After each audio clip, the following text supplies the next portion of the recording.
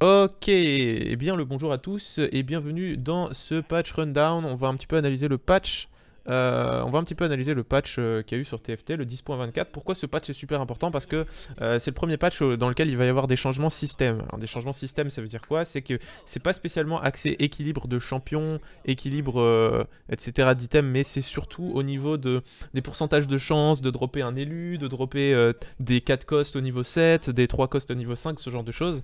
c'est le patch qu'on attend depuis longtemps parce que vous le savez, le jeu est dans un état où, où ça roll énormément au 7 et le, le jeu est segmenté en deux fois. Alors que historiquement, euh, entre guillemets, 7, 3, 2, 1, tu rolls euh, au, 6, puis tu rolls au 7, puis tu rolls au 8, tu essaies d'arriver niveau 9. Là, il y a beaucoup, euh, il y a une grosse, il y a un gros accent sur le niveau 7, et ça peut, ça c'est assez frustrant parce qu'il y a eu beaucoup de patchs et ce qui se passe c'est qu'à chaque fois c'est un 4 causes différent que les gens roll. À un moment, au, tout début ça commence avec Riven, ensuite c'est passé par H, par, euh, euh, Talon et maintenant on est encore de nouveau sur Talon. Et euh, maintenant on va voir un petit peu ce que ça va donner parce qu'ils vont changer le système. Donc maintenant avoir une élue 4 cost au niveau 7 ça va être beaucoup plus compliqué et on va voir un petit peu ce qu'ils en donnent. Euh, je vais pas trop mettre le son, je vais un petit peu avancer dans la vidéo et voir de quoi il s'agit. Alors, player damage, ça c'est un gros changement de système, c'est les dégâts aux joueurs. Alors, au stage 3, tu prends minimum 2 dégâts. Donc le stage 3 c'est après les Krugs, tu prends minimum 2 de damage avec le joueur. Donc si tu clears tout le board et qu'il y a une unité restante par exemple, ce sera 2 plus 2, ce sera 4. Au stage 4 ça passe de 2 à 3. Euh, au stage 6 ça passe de 10 à 8. Ok. Donc euh, pas mal de changements à ce niveau là. Tu vas prendre plus de dégâts au stage 3 et 4, donc c'est important de stabiliser le board euh, au niveau 6 et on va voir un petit peu ce que ça donne par la suite.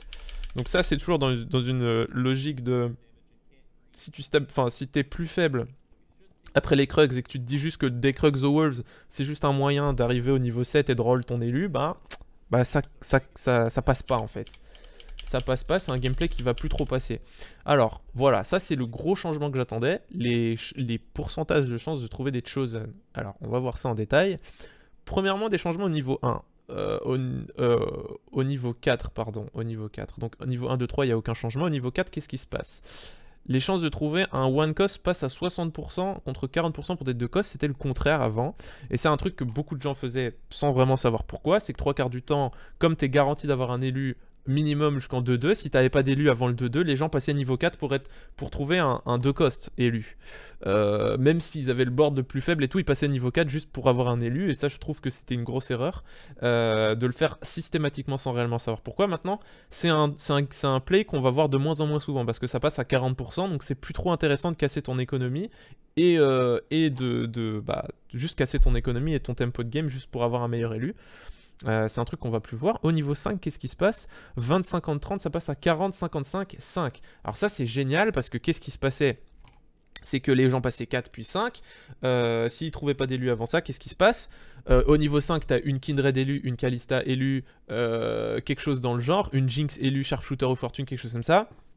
T'as gagné la game. Tu as juste gagné la game. Si tu trouves early un 3 cost élu, tu gagnes la game. C'est simple, c'est aussi simple que ça. C'est free win en fait. Et ça, c'était un, gros euh, problème d'équilibrage, parce qu'il n'y a pas grand-chose comme board, même si tu très strong, il n'y a pas grand-chose qui battait une Kindred Elu ou quelque chose comme ça en early game. Donc ça, ça, ça, puait clairement, et c'est quelque chose qu'il fallait changer, euh, euh, et, c'est cool qu'il le change. Au niveau 6, qu'est-ce qui se passe? 10, 45, 45, on passe à 15, 45, 40. Donc même au niveau 6, les odds de trouver un 3 cost sont déjà un peu réduits. Pourquoi ils font ça? Parce qu'ils s'attendent euh, ils s'attendent à ce que les gens vont roll maintenant au 6, puisque maintenant, forcément, on va voir par la suite, c'est le niveau 7 qui nous intéresse. Au niveau 7, qu'est-ce qui se passe? 0, 30, 40, 30. Donc, vous voyez, hein, les 4 costs au niveau 7, c'était un gros problème. Ils les passent à 5%. Donc, ils ont réalisé que c'était un énorme problème. Ils vont pas dire on les enlève du 7, ils les laissent. Mais ça veut dire quoi? Ça veut dire que parfois, tu as la petite game où tu vas trouver une Harry élue au niveau 7. Voilà. Et ça va peut-être t'aider. Mais euh, ça va faire en sorte que c'est plus un moyen régulier de t'en sortir dans tes games où tu fais n'importe quoi. C'est pas euh, je fais n'importe quoi, j'arrive 7, je roll down, oh j'ai trouvé une HLU, j'ai gagné la game. C'est parfois je vais en trouver une. Moi ça me dérange pas tant que ça, 5%. J'aurais préféré 0, mais bon. C'est comme les légendaires au 7. C'est genre temps en temps tu vas en trouver une, mais sur un grand nombre de games c'est pas game breaker. Donc ça c'est un énorme changement qui est vraiment cool pour le jeu et qui va créer des situations bien plus healthy pour le jeu. et pour la méta et la segmentation de game en règle générale. Niveau 8 maintenant, 0, 20, 40, 40. On passe à 0, 15, 45, 40. Donc le niveau 8, euh, c'est le moyen le plus efficace de trouver un 4 cost élu. Euh, et maintenant, on va regarder le niveau 9, 0, 0, 30, 40, 30. 0, 0, 15, 45, 40. Là, c'est super intéressant pour les légendaires. Donc, qu'est-ce qui veut dire Le niveau 9, maintenant, il coûte super cher? Vous savez, c'est 90 XP. Euh, c'est super cher de passer niveau 9. Et souvent, passer niveau 9, c'est pas bon parce que les gens rollaient down au niveau 7. Ils trouvaient des talons élus, des haches élus, etc. Ils te mettaient des grosses, des grosses baffes. Et c'était très dur de passer niveau 9. Maintenant, le niveau 9, c'est toujours aussi dur d'y aller. Mais au moins, quand tu passes niveau 9, t'es presque garanti de trouver une élue légendaire si tu as un minimum d'écho. Genre, si t'as genre 30 gold niveau 9, tu es récompensé pour passer niveau 9. Et maintenant, il y a un réel intérêt à passer 8 et un réel intérêt à passer 9. Donc les games vont être bien plus segmentés. Maintenant, je pense que ce qui va se passer, c'est que les gens vont arriver au Krugs soit en win streak, soit en lose streak. En fonction du résultat, tu vas roll un petit peu au 3. Et euh, euh, tu vas roll un petit peu au 6 pour du 3 cost et du 2 cost. Tu vas passer niveau 7, tu vas un petit peu roll pour stab, mais pas trop. Puis tu vas passer niveau 8. Là tu, là, tu vois si ta game elle s'arrête au 8 ou pas. Et si tu as fait une bonne game, tu peux passer 9. Mais euh, je préfère ça largement parce que maintenant, ça va segmenter les games stage par stage. Avant, ce qui se passait, c'est que c'était avant les walls, après les walls. Maintenant, c'est tu arrives au Krugs, tu décides ce que tu fais pour le stage 3, puis tu décides ce que tu fais pour le stage 4, puis tu décides ce que tu fais pour le stage 5, tu envisages le 9. C'est beaucoup mieux. C'est 100 fois mieux et c'est comme ça que le jeu devrait être joué. Ces changements-là, ils auraient dû être faits depuis le début du 7-4. Mais bon, on va pas se plaindre. Hein. Mieux vaut tard que jamais, comme on dit. On va avancer un petit peu là, ça nous intéresse pas trop de savoir ce qu'ils disent. Euh, on va avancer un petit peu dans la vidéo. Tac, tac, tac. Prochain système. Alors, système change. Encore plus de système change. Loot distribution. Ok. La variance euh, sur les drops initiaux. Euh, un petit peu plus de drops. Reduce the extreme variance in item distribution. Should lead to less cases of similar item drops in a game. Great average value increased. Ok. Et moins de Nico drop. Ok, donc équilibrer les débuts de game parce que un départ Nico 0 gold c'était de la merde, un, départ full gold c'était trop fort. Maintenant ils vont un petit peu lisser la variance, euh, c'est plutôt cool. Euh, c'est plutôt cool et, euh, et ça c'est un truc qu'ils auraient dû faire depuis un petit moment. Bref, encore une fois, c'est un très très bon changement. On va avancer un petit peu. Et c'est marrant parce qu'après je vous montrerai un tweet je vous montrerai un tweet, euh, ça, c'est plutôt drôle. Euh, chosen bonus stats, attaque damage 30, ça passe à 20. Euh, très bien. donc comme vous le savez, un élu a des, stats améliorées en plus d'être 2 étoiles. Il a 200 HP de base d'office. Et en fonction du type d'élu, c'est soit 30 AD, 30 AP, du reduce mana cost de 25% ou des points de vie. Alors en fonction des champions, ça peut, ça peut varier. les bonus stats, on passe l'AD de 30 à 20. Donc ça c'est quand même un... C'est quand même pas mal un nerf, hein, parce que tu passes de 2 BF à... C'est cool, je trouve ça. beaucoup plus balanced. Le patch s'applique mercredi dans la nuit, c'est ça? Merci, merci. Oui, euh, ce sera mercredi... Euh, non, c'est euh, mardi dans la nuit et c'est mercredi matin que ce sera disponible. Alors, du coup, bah, ça, tu le sens pas trop pour les 4 costs, mais pour les 1 cost, ça change beaucoup de choses. Yasuo élu, Yasuo 3, ça va être déjà un peu moins fort. Enfin, Yasuo, ça va être un peu moins fort, parce qu'on aura livre 10 d'AD, c'est beaucoup. Pour des persos qui n'ont pas beaucoup d'AD de base, c'est vraiment énorme. Il casse un petit peu Yasuo, je trouve. Parce que tu vas moins pouvoir snowball avec. Alors, euh, maintenant c'est de la balance, donc on n'est plus dans le système change, on est plutôt dans, le balance de, personnages. On va voir un petit peu ça. Euh, comment dire euh, trait par trait, etc., champion par champion, item par item. Cultiste. Alors, ce qui se passait avec les cultistes, c'est que ça doublait le nombre d'étoiles que ça donnait. Euh, ça doublait le nombre d'étoiles pour le Galio. Euh, forcément, un Chosen, One Cost, One Star, ça donnait 2 étoiles au Galio. Un, 2 étoiles, ça en donnait 4. Et un 3 étoiles, ça en donnait 6. Maintenant, il, il baisse, c'est juste plus une étoile et pas deux fois. Ça va nerf un peu le Galio, ça va nerf un peu cultiste. Donc les élus cultistes vont être un petit peu moins forts si tu fais des 3 étoiles. Euh, ça change pas énormément en vrai, je pense, c'est fine. Euh, c'est pas très grave. Euh, ok, c'est un fixe. Lower the drop rate of Nikos help. Ok, les, Nikos c'est un problème parce que on avait une abondance de 4 cos 3 étoiles avec les Nikos que tu peux avoir avec Fortune. Clairement, Fortune c'est surjoué et c'est trop rewarding sans vraiment griffe ton board avec certaines compos. Diana 4 nerf, ok, sans commentaire. Nami, on passe euh, ok, Nami Luden c'était un gros problème parce que ce qui se passe c'est que Nami, quand elle est élue, elle a un reduce mana cost. Sa mana passait à 60, elle avait besoin euh, en, Season Lighten de 3 auto-attaques pour cast avec des Luden. Et quand tu lui mets mage, elle détruisait les games. Nami Luden c'était clairement un truc broken, il la nerf, c'est mérité. Pour ceux qui savent pas, Nami Luden c'est un des meilleurs early games du jeu. Lissandra, euh, Lissandra, Lissandra, nerf au niveau 4. Ok, donc ça c'est un nerf des Moonlight clairement. Yasuo prend un buff niveau 1 et au niveau 2. Pourquoi? Parce que si vous regardez juste avant, c'est probablement parce qu'il lui enlève 10 euh, d'AD en étant Chosen. Donc je disais Yasuo ça va être un nerf. Ok, il compense en lui donnant un petit peu plus de spell damage, mais il fera moins mal avec les auto-attaques. Donc ça reste un nerf. Globalement ça reste un nerf. Euh, Yasuo élu prend un nerf. Ça c'est sûr. Après pour moi ça va rester ok tu vois. Euh, Aphelios prend un buff. Pourquoi? Pareil, ils ont nerf son AD de base. Donc c'est un ajustement des persos. Euh, Z, buff d'attaque speed. Euh, Pike. Euh, Z, Z, je pense que ça va être très fort maintenant. Hein. Avec RFC, Runan, QSS.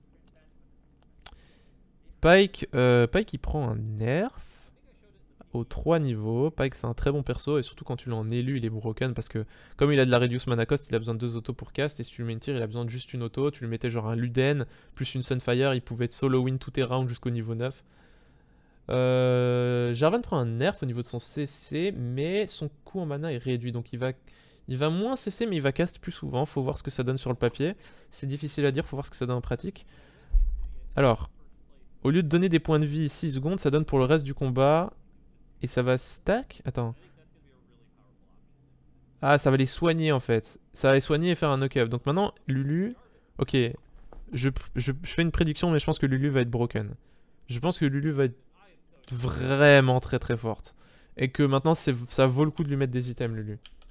Ok ça c'est cool, c'est un changement intéressant. C'est un changement intéressant parce que lui c'était un petit peu le perso, euh, en 6 matchs c'est force, tu as 3 stars, il y a moyen de faire des trucs, elle fait le taf.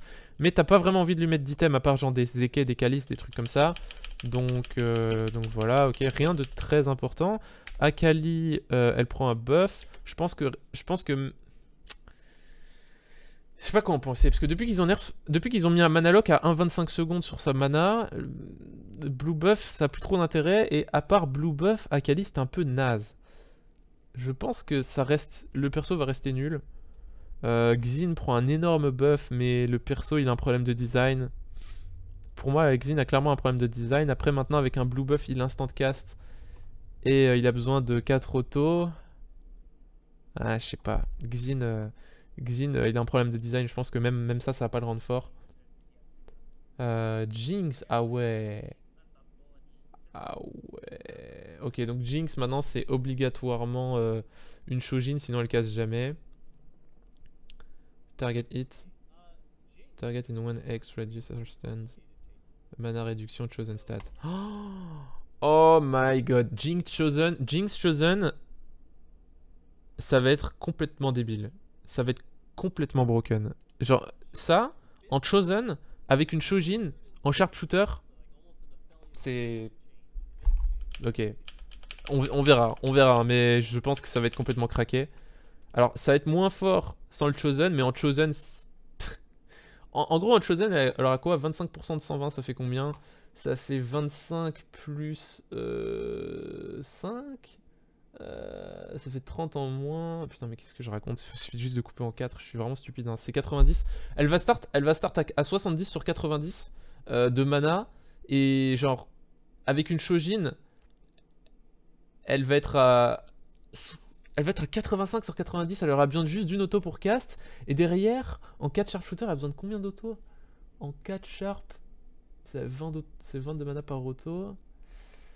Elle aura besoin de globalement... Euh, putain, mais c'est un délire. Besoin de 5 autos pour cast Non, mais c'est trop. C'est trop, c'est trop. Non, c'est trop. Ça va, être un, ça va incroyable, ça. Déjà, le tempo en début de cast, ça veut dire que si tu lui mets un Luden, par exemple, elle a besoin d'une auto, elle stun, elle va détruire les, les frontlines.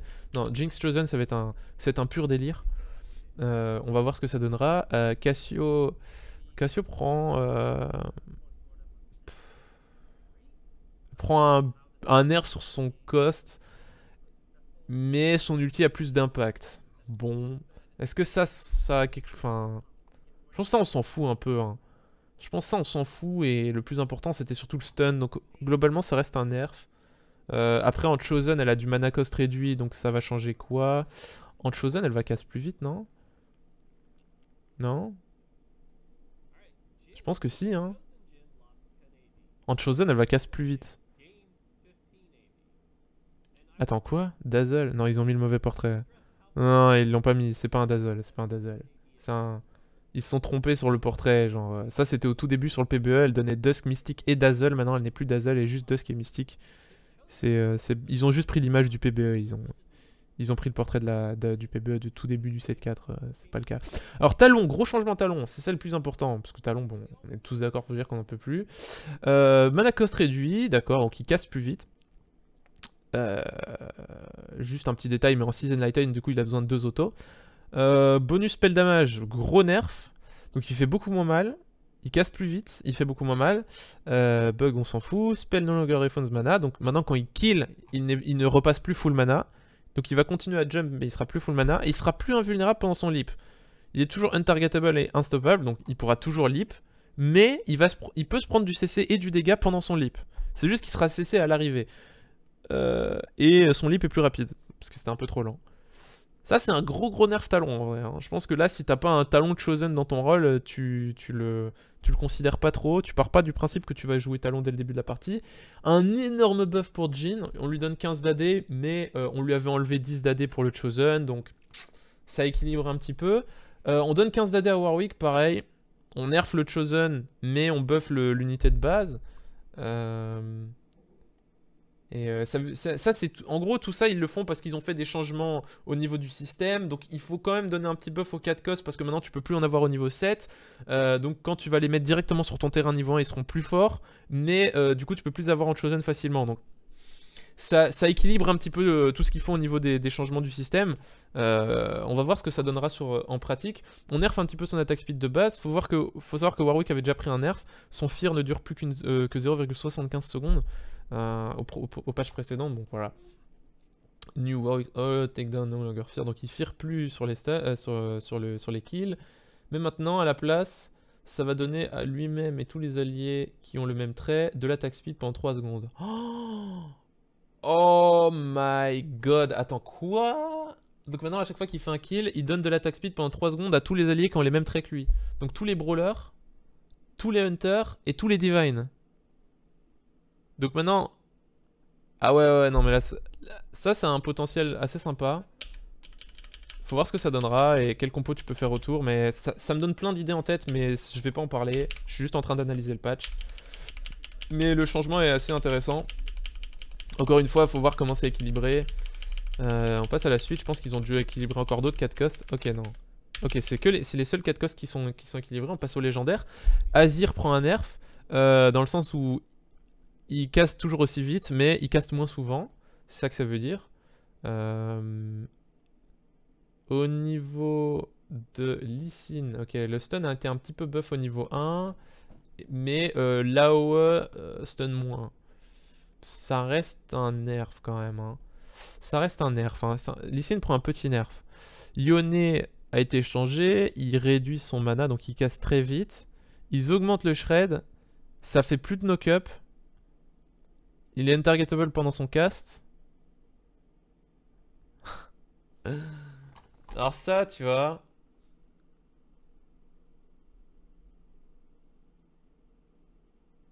Ça, je sais pas. Ça ressemble à un nerf. Mais pour moi, c'est un giga buff. Parce que tu, tu mets un Yone Blue buff, il a besoin de deux autos pour cast. Et derrière, il va one-shot toute ta team. Je pense que ça... Non, je suis pas d'accord avec ça, mais... Ok, ça, ça, ça, ça, ça va être complètement, euh, ça va être complètement fumé ce truc. Et Vanguard Mystique, ça va être injouable à cause de ça. Vanguard Mystique va être injouable à cause de ça. Tous les Vanguard, Vanguard n'est plus une synergie, hein, je vous le dis. Vanguard, ne jouez pas Vanguard, vous allez être déçus. Ne jouez surtout pas Vanguard. Mais genre surtout, jamais, tu le joues en transi, stage 4, ils doivent dégager. Ou tu joues juste Sejuani, deux Vanguard max, max. Ne jouez pas 4 Vanguard, ce n'est plus une synergie. Et un buff 7, 3 autos de moins pour cast, il va cast beaucoup plus vite. Ça, on avait vu sur un patch d'avant. 7 a été très très très broken en early. en early. En early 7.4, pardon. Là, ils le rebuff alors qu'ils avaient déjà fait un buff sur 7. Et c'était quoi le buff? C'est que maintenant, en Chosen, ils gagnent 30 d'AP.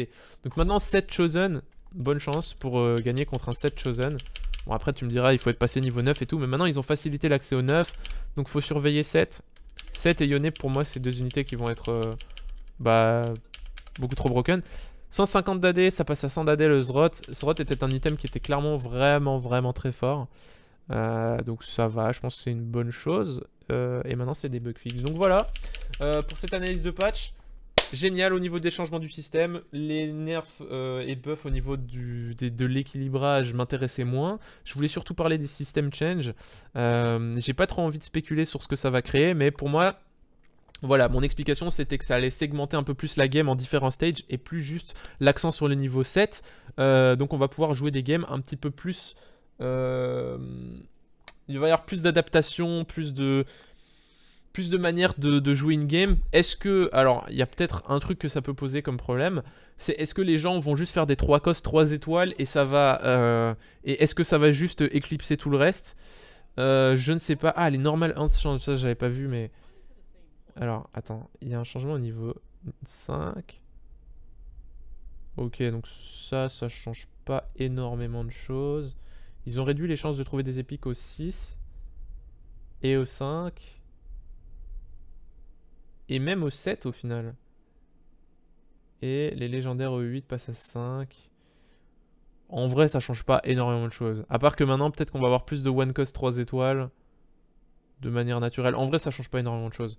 Voilà. Alors, ça va être marrant, mais euh, je, vais, euh, je vais déterrer un tweet que j'avais fait. Euh, je vais déterrer un tweet que j'avais fait maintenant. Parce que c'est très marrant ces changements du système. Ça c'est juste pour flex, bien sûr. On va juste, on va juste flex. Mais t'inquiète. Un tweet que j'avais fait il y a un petit moment. Et c'était quoi? C'était Salvi, donc Salvi est un top player, qui disait un truc du genre que le 7.4 c'était le pire patch, c'était le pire set jusqu'ici. Et j'avais répondu un truc. Euh, je sais plus quand c'était. Je sais plus quand c'était. Et, euh, et derrière, il y a eu une réponse.